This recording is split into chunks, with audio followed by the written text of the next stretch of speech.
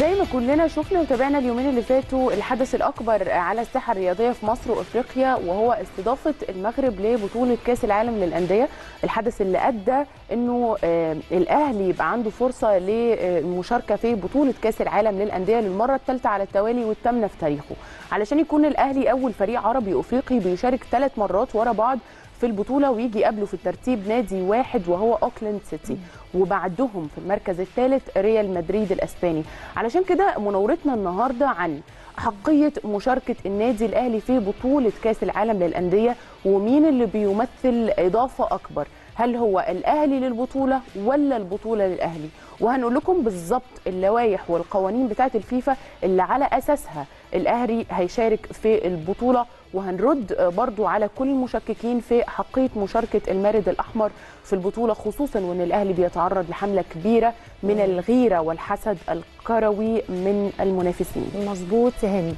آه وأي حد كده لو بص على التاريخ والإنجازات ولغة الأرقام. هيفهم إن مشاركة الأهلي في أي بطولة بيضيف لها ما يقدرش أي فريق تاني في الشرق الأوسط كله إنه يضيفه. يعني الأهلي لما بيشارك بيضيف حاجة مختلفة تاني. يعني مثلا في كأس العالم للأندية الأخير محدش سأل نفسه هو ليه جمهور بالميراس اشترى من بدري تذاكر الماتش كله قبل النهائي؟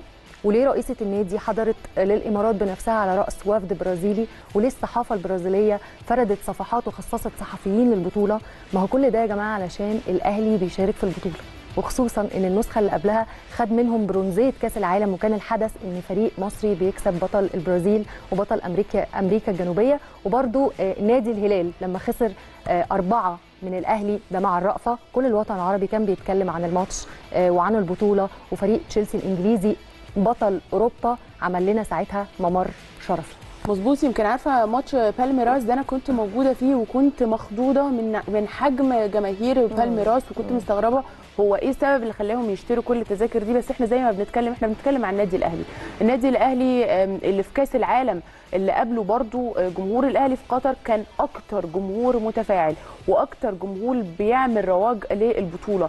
كلنا شفنا الحالة اللي جمعت بين الأهلي وفريق بايرن ميونخ وفي 2012 لما كسبنا بطل اليابان في اليابان والصحافة كلها وقتها اتعاملت مع الموقف إنها هزيمة متوقعة من واحد آه، من أهم وأقوى الفرق في البطولة. والجمهور الياباني آه، شفنا كان قد إيه يا جماعة متعلق بالأهلي. حتى المنظمين عملوا أيقونة وجائزه مخصوصة للأهلي. وبلاتر اللي قال لعيسى حياته الرئيس السابق للاتحاد الأفريقي أنتوا ما عندكوش إلا الأهلي. ده غير البطولة العربية اللي بيبقى ليها رنه لما الأهلي كان بيشارك فيها. حتى رابطة الأندية بتاعتنا والاستفتاء الكاسح لجمهور الأهلي لما بيبقى في تصويت للعيب بتاعه بتاعه ويفرق 94 و95 عن المنافس. كل ده بيحصل ليه؟ كل ده بيحصل بسبب جمهور الأهلي، جمهور الأهلي وعشاق الأهلي في العالم كله، جمهور القلعة الحمراء المصنف إنه الخامس على مستوى العالم، دي كلها معطيات آه، تهم أي حد عايز بطولته تنجح. وتسمع في العالم كله إن أنا أجيب نادي كبير زي ده بجمهور بالظبط. كبير زي ده. بالظبط هند. ده بالنسبة لإن كون الأهلي بيمثل إضافة كبيرة لأي بطولة آه، وبيشارك فيها. الأهلي يا جماعة الأكثر تتويجا بالبطولات بالبطولات. ثلاثة برونزيات كأس عالم وبيحتل المركز الثاني بعد ريال مدريد الأسباني من حيث عدد البطولات. ندخل بقى على تفاصيل مشاركة الأهلي آه، في كأس العالم للأندية. سيناريو تاريخي. الأهلي في بطولة أفريقيا اللي فاتت خسر نهائي دوري الأبطال لحساب فريق الوداد البيضاوي الم- المغربي في النسخة اللي فاتت بسيناريو يمكن كلنا عارفين كان سيناريو ظالم جدا. آه، ال- ال- النهائي اللي اتلعب على أرض المغرب. علشان نكون إحنا وصيف دوري أبطال أفريقيا 2021 شوف بقى لما ربنا كده يبقى عايز إيه؟ ياخد لك حقك آه. ويرجع لك حقك تاني.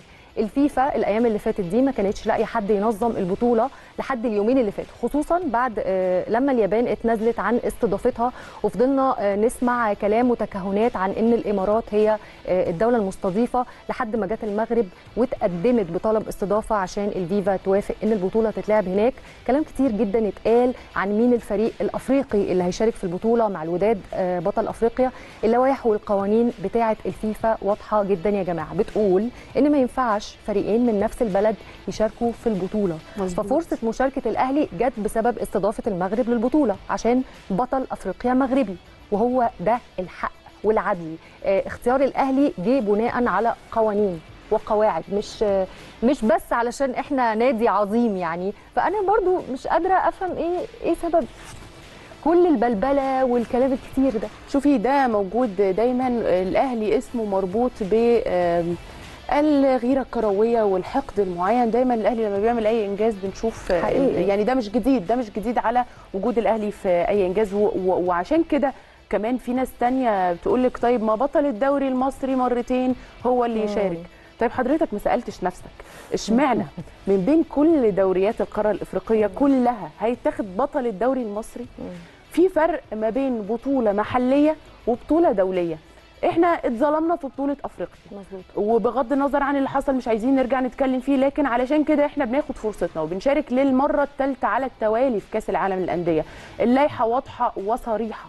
الفقرة الرابعة يا جماعة من لائحة كأس العالم للأندية بتنص على أن لا يس- يسمح لفريقين من دولة واحدة المشاركة في البطولة وفي حالة كانت البطولة القارية من نفس الدولة المستضيفة فوصيف البطولة هو من يشارك مين هنا بقى وصيف البطولة؟ مين؟ النادي الأهلي بالظبط أحب. أوضح إن القصة دي حصلت قبل كده في كأس. العالم للأندية 2007 في اليابان وكان وقتها نادي اوراوا ريد دايموندز الياباني هو بطل دوري أبطال آسيا وكمان كان آه، بطل الدوري الياباني فالفيفا قررت مشاركة نادي إسفهان اصفهان الإيراني بصفته الوصيف فيا جماعة اللي بيحصل مع الأهلي ده غير إنه شيء مشرف هو شيء طبيعي. دي لوائح وقوانين. ما فيهوش مجاملات. الانتماءات بقى وجو إنه النادي الأهلي بيتجامل وده مش موجود. النادي الأهلي رمز مهم من رموز كرة القدم في العالم. دي حقيقة واضحة وباينة زي الشمس. محدش يقدر ينكرها أو يغيرها. وأي كلام أي شخص يطلع يتكلم عن عدم حقية الأهلي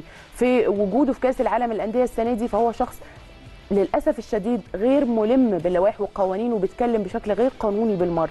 بالظبط يا هند وبصي زي ما كل الناس بتقول كده عن الأهلي الأهلي هو بابا الشغلانة.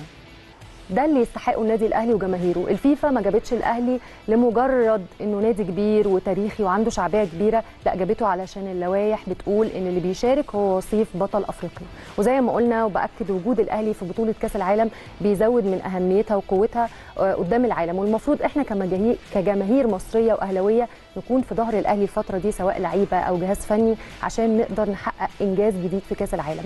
آه عملنا في البطولات اللي فاتت أداءات مشرفة وصلنا للثالث على العالم أكتر من مرة. إيه يعني المرة دي يكون هدفنا أكبر؟ هو ده اللي إحنا عايزينه. يعني بالظبط يا ميرا عشان كده المرة دي الحلم أكبر نفسنا إنه الأهلي يرفع كأس. العالم للأندية. المهمة صعبة قدامنا ريال مدريد بطل أوروبا. آه، بس الأهلي كسب ريال مدريد قبل كده بنجومه الكبار. آه ما كانش ماتش آه كان ماتش ودي ساعتها بس مم. لكن التاريخ بيقول إن إحنا كسبناهم. الأهلي لعب مع روما الإيطالي وبايرن ميونخ وبرشلونة. آه، كبار أندية العالم وكمان كأس العالم للمنتخبات. إدانا درس إن مفيش حاجة اسمها ده صعب وده. مستحيل. أهم حاجة إن اللعيبة تروح آه، كأس العالم للأندية وهي عندها الروح آه، يبقى واصل لها الإحساس ده إحنا رايحين المرة دي نجيب. كأس العالم وراجعين رايحين رايحين اللعيبة ما ينفعش تتعامل بعقلية غير كده. أنا رايح أجيب بطولة مش رايح أعمل أداء مشرف وأرجع. آه،